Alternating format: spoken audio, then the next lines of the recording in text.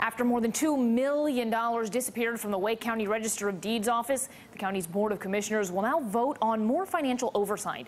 The money disappeared during a nine-year stretch from 2008 to 2017. CBS North Carolina's Bo Minnick joins us live just ahead of the meeting. Good afternoon, Bo.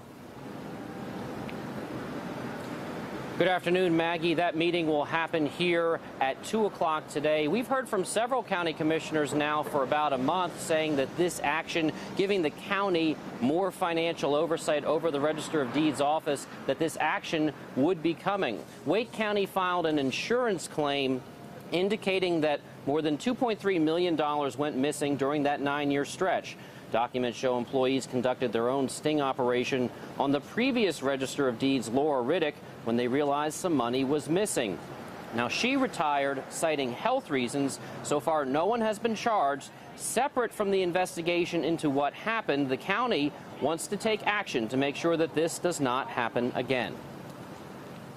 There were no red flags prior to us getting a tip that something was going on in the Register of Deeds, we went in immediately and we found the problem, and now we're doing a memorandum of understanding between the county and the Register of Deeds so that we can go in with annual audits, more detailed audits, as well as go into the Register of Deeds offices and look at their papers anytime we want. Poland.